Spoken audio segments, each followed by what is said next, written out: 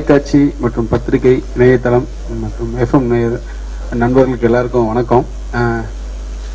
Actually sir சொன்னார் இது மாதிரி ரொம்ப கொஞ்சம் பிஸியாக இருந்துட்டோம்.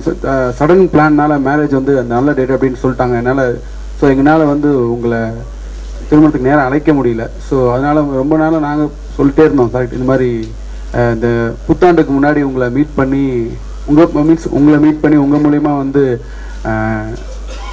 நம்ம நேயர்களையும் வந்து சந்திக்கணும்னு.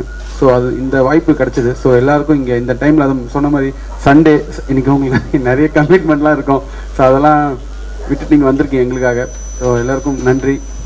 இவங்க என்னுடைய மனைவி லலிதா. இவங்களும் டான்ஸ் மாஸ்டர் தான். ஸோ மேற்கொண்டு அவங்க பேசுவாங்க. எல்லாருக்கும் வணக்கம். நிஜமாகவே நாங்கள் ரொம்ப வருத்தமாக இருந்தது. ஏன்னா நாங்கள் திருமணம் நிச்சயம்னு சொன்ன உடனேயே தெரியும். எப்பயுமே ஷூட்டிங்லேயே ஓடிட்டே இருப்பார். ஸோ எங்களால் வந்து டைம் எல்லாமே ரொம்ப ஷார்ட் பீரியடாக இருந்ததுனால எங்களால் கரெக்டாக ஆர்கனைஸ் பண்ணுறதுக்கே ரொம்ப கஷ்டமாக இருந்தது. எங்களுக்கு உங்களை ரொம்ப சந்திக்கணும்னு சொல்லி முயற்சி எடுத்தோம்.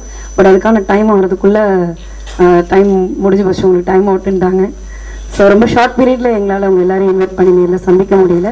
ஸோ அதுக்காகவே அவங்க சொன்ன மாதிரி நியூ இயருக்கு பிஃபோராகவே இந்த வருடத்துக்குள்ளே உங்களை சந்தித்து எங்களோட சந்தோஷத்தை உங்களோட பகிர்ந்துக்கணும்னு நினச்சோம். அது நடந்தது. இந்த அதே மாதிரி சண்டேன்னு கூட பார்க்காம எங்களுக்காக எல்லாரும் வந்து எங்களோட இந்த சந்தோஷ சில ஷேர் பண்ண வேண்டிய விஷயங்களை உங்களோட பகிர்ந்துக்கிறதுல நாங்கள் ரொம்ப சந்தோஷமாக ஃபீல் பண்ணுறோம்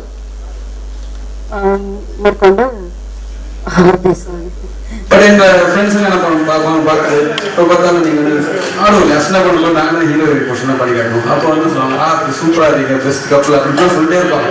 ஒரு இடத்துல என்ன ஆச்சுன்னா அதையே பேசி பேசி பேசி இவங்களே பேச ஆரம்பிச்சிட்டாங்க நான் லவ் பண்ண லவ் பண்ண ஆக்சுவலாக நாங்கள் இங்கே அந்த டைமில் லவ்வே கிடையாது. அதுக்கப்புறம் ரெண்டு வருஷம் நாங்களும் சொல்லி சொல்லி பார்த்தோம்.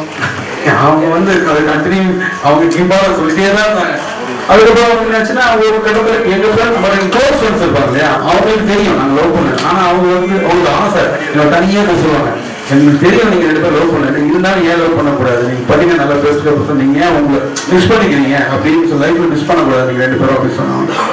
அப்புறம் கொஞ்ச நாள் ஆச்சு கொஞ்ச நாள் கழிச்சு நாங்களே அப்புறம் பேசிக்கிட்டோம். தெரியும்னா சரி ஒரு ஒரு பொசிஷன் நல்ல பொசிஷன் வந்துட்டு அப்புறம் ஏன்னா இன்னும் ப்ரோக்ராம் வரல ட்ரை பண்ணிட்டு இருக்கோம். பட் சொல்றேன் ஒரு அளவுக்கு வந்துட்டு அப்புறம் வீட்டில் பேசி வீட்டில் சம்மதத்தோட ஒரு கரெக்டான முறையாக அப்போ மேரேஜ் பண்ணிக்கலாம் அப்படின்னு டிசைட் பண்ணி அதுக்கான நேரம் டக்குனு இப்போ வந்தது ஸோ அது இப்போ நேரம்